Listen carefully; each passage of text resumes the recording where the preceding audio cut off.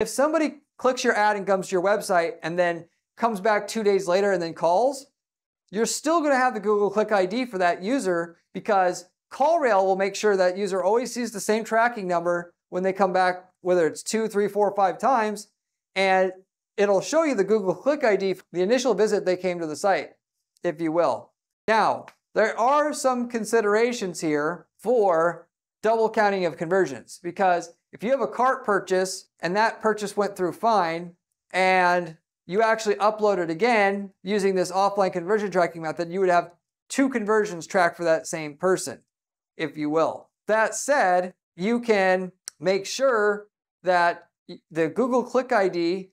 is going to be what it is. If they went through the, through the cart and purchase and it was able to be tracked, it's going to be tied to that same Google Click ID as it would be if you uploaded it manually through this offline conversion tracking process.